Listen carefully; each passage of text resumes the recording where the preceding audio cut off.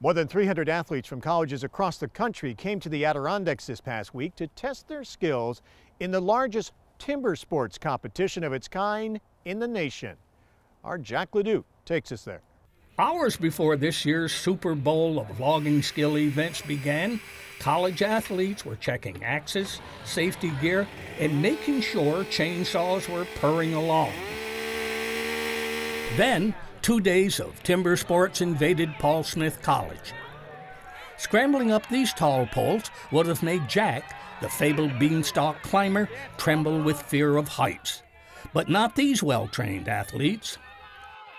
Some got off to a slow start, others scurried up the pole. There was a day when climbing up trees with sharp spikes was common, but has recently declined. It is still done at timber events like this one. I have uh, a pair of climbing spikes with the short little pole gaffs that work good on these western cedar climbing poles. Uh, you got to be careful to keep your ankles far enough apart so you don't gaff yourself and go to the hospital and get a few stitches.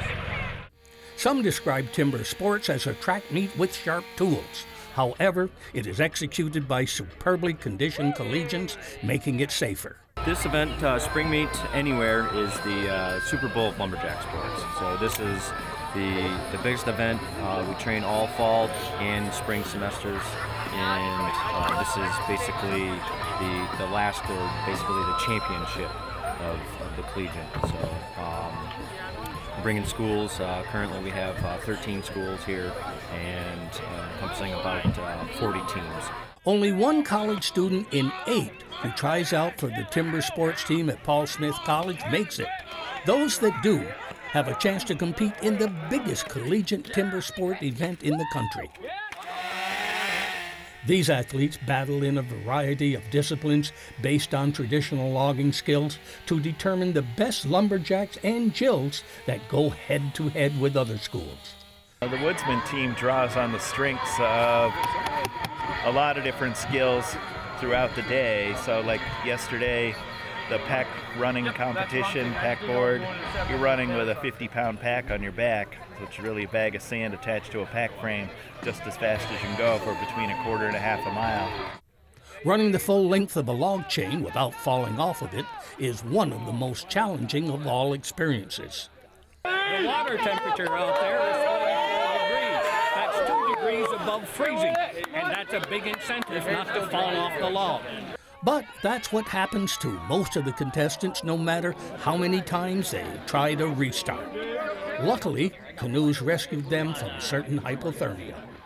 Sponsors of Timber Sports not only get a chance to show off their products, but to talk with students about their future. It's so nice to see some healthy students out here participating with what's really happening in this world.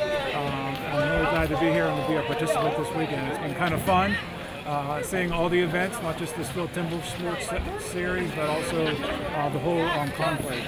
And there's a big change coming in chainsaws. It's a battery powered chainsaw.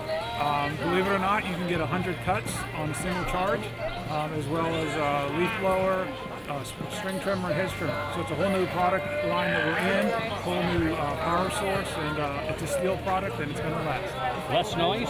Uh, much less noise. No emissions. No gas, no mess. But at this event, it was back to the old days of doing things on the single buck saw. Contestants here said that events like this help them focus on their future in the timber industry, rather if it's large scale forestry or other options on a smaller order. Winners here will go on to the championships in Milwaukee in late July. For Mountain Lake Journal, I'm Jack LaDuke at Paul Smith College.